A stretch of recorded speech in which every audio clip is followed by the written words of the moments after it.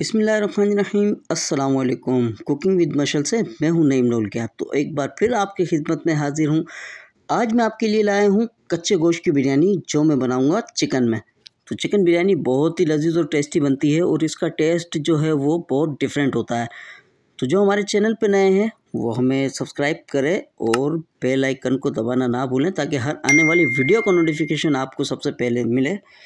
Video अच्छी लगे like करें और अपने दोस्तों में शेयर करें। तो चले आए रेसिपी की तरफ़, वो भी नई नोलका के स्टाइल में। बिसमीम रेसिपी स्टार्ट करते हैं। मैंने आधा किलो चिकन लिया है और दो चम्मच अदरक, लहसुन का पेस्ट और उसमें मैंने चार पाँच हरी मिर्च को बारीक बारीक पीस लिया है। एक पाव दही शामिल किया है और नमक जो है मैं इसमें हसबे जायका डालूँगा। एक चम्मच इसमें हल्दी शामिल कर दूँगा और हाफ़ टेबल स्पून जो है मैंने इसमें खड़ा गरम मसाला डाला है और एक एक चम्मच जो है पिसा हुआ गरम मसाला शामिल किया है। और दो टमाटर की मैंने प्यूरी बना ली थी, जो इसमें मैं शामिल कर दूँगा। और एक चम्मच इसमें कटर मिर्च डाल दूँगा। ये मैंने प्याज ब्राउन किए थे, इसको मैं अच्छा सा पीस के जो है इसमें शामिल करूँगा।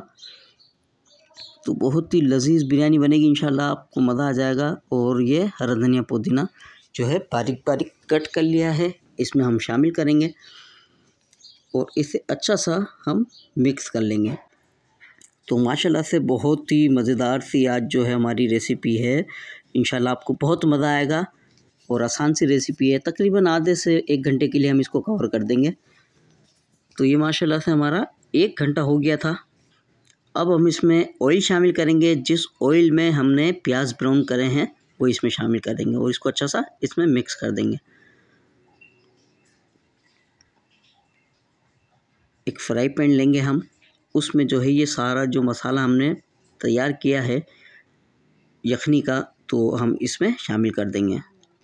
और मैंने चावल बॉईल कर लिए थे तकरीबन सेवेंटी परसेंट मैंने बॉईल किए थे इसको। हल्के से इसमें कच्चापन है, क्योंकि हम इसको इसको दम देंगे तकरीबन चालीस मिनट तक, चालीस से पचास मिनट तक हम इसको दम पे रखेंगे। तो ये माशाल्लाह से बहुत आसान सी रेसिपी है, बहुत ही टेस्टी बिरयानी बनती है और अब मज़ा आ जाएगा इन आप इस तरह बनाएँगे।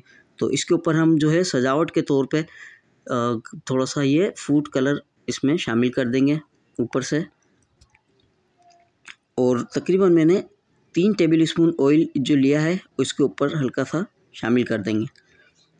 तो इसे हम दम के लिए रख देंगे तकरीबन चालीस से पचास मिनट।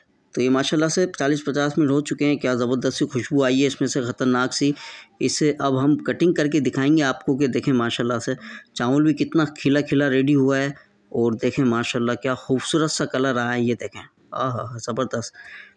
तो बहुत प्यारी रेसिपी थी हमारी माशाल्लाह आज की और बिल्कुल आसान और बहुत ही टेस्टी बिरयानी जो है आज हम आपको तैयार करके दिखाने वाले हैं। तो ये देखें माशाल्लाह से क्या ज़बरदस्त सी रेसिपी है।